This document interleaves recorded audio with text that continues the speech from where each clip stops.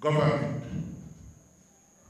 with a record of performance that we can be proud of.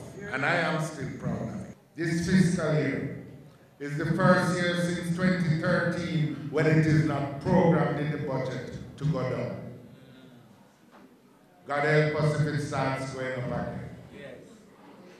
There are some serious problems that Jamaica still faces. But every time you try to raise them against the background of what has happened,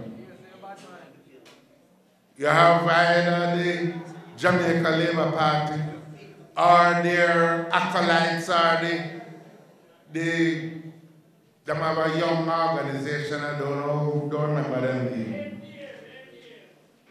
But them keep talking and then you have some in the newspapers. When we say that what we are facing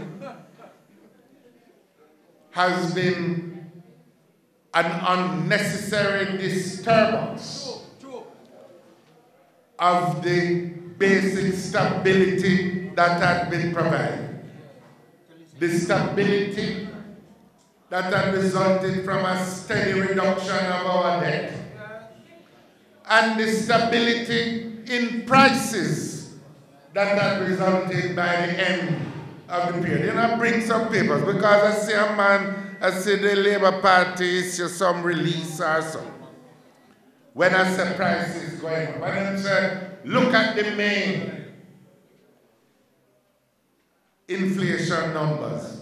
May inflation was down and May the budget just passed in May. So May inflation was continuing a trend that was inherited. But I got to the Statistical Institute numbers for June. And this, it says in June, and I'm going to quote it. It says, the All Jamaica Consumer Price Index for June 2016 increased by 0.9% when compared to May 2016.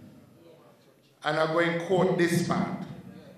This was the highest movement since July 2015. Yeah, yeah. trouble, trouble. No, it might go down again.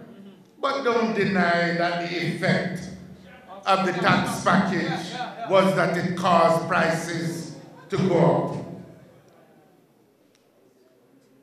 It said this movement was due mainly to higher electricity costs, which was the result of higher oil prices on the international market, the special consumption tax imposed on heavy fuel oil, and the continued depreciation of the Jamaican Yes, sir. That is not me, sir.